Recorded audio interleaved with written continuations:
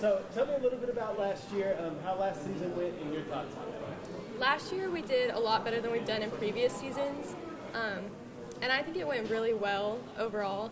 And we've been working to like be better for our next season, but also we've had a change. We got a new head coach, so it's pretty different. But we're positive. We have a positive outlook on the next season, so I think it'll be good.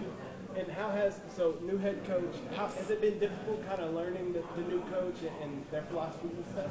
Um, it's definitely different than last year, um, but I think that's what makes great athletes and great coaches is that we can work together and learn different people, and that's so important for future and right now. So it's been different, but it hasn't been bad. So. And what has been the main focus this offseason? Uh, what's been the main focus y'all want to work on this offseason to improve off last year? We've just been mostly working on like our team chemistry and like coming together and playing together as much as we can. Like every time we get in the gym, we're just getting on the court, you know, playing together, um, just doing whatever we can to like get a feel for each other and how we move and how we work together. So.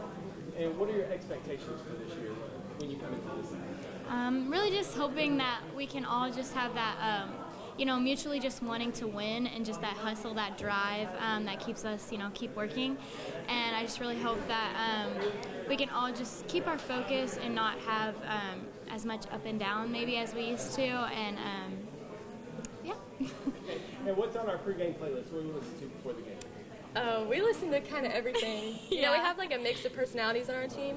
So it can range from like pop music, rap music, really yeah. anything, country music. speaker, or is it like uh, usually we'll we usually one. have a speaker. Yeah. We usually have like individual on the bus, and then we all like get together right before the game. Mm-hmm. So.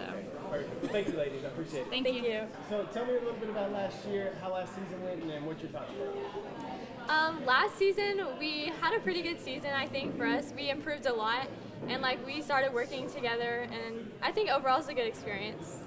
What are the what are vibe, the vibes like in the locker room? What's the team Um,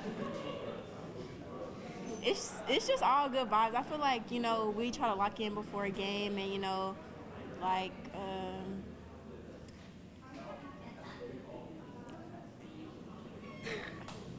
okay. Uh, yeah. So what what are your thoughts on this upcoming season? What are your, the expectations that you have? Um, we're really excited. We have like a lot of new people in, so we're all trying to like mesh together. But we're really excited and working hard, and I think it's gonna be good. What are we listening to pregame? What's on the playlist? Mm, anything really, anything to get us hyped. Anything. Anything that pumps you up. We don't have a favorite artist or anything. No, I don't. I got you. Thank y'all so much. Thank you.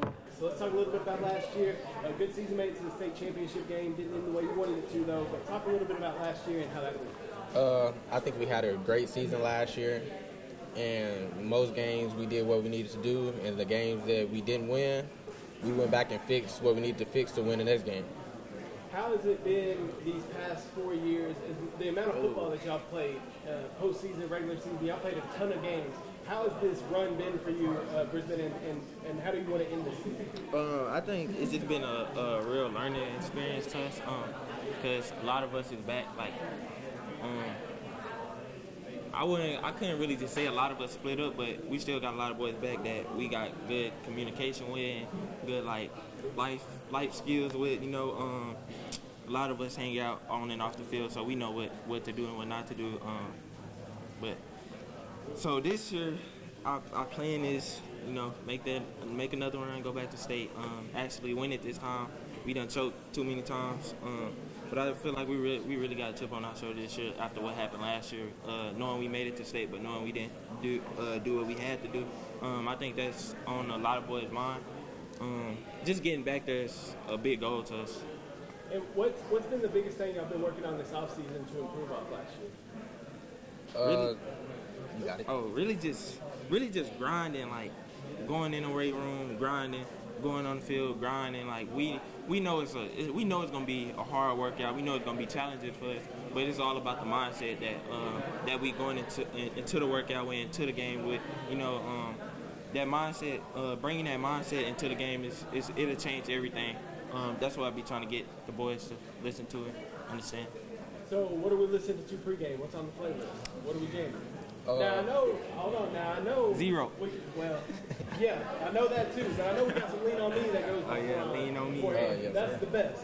but I, I do remember a little Mo City Don that got played too. Oh yeah, I think just a yeah, I think that I think that Z-Ro just uh brings something different to us. Like I don't know, it just brings something different to us, and then you know, of course, lean on me. Um, that's basically just like a family thing. Yeah, Um, to you know, we locked in yeah. before the game. Ohana baby.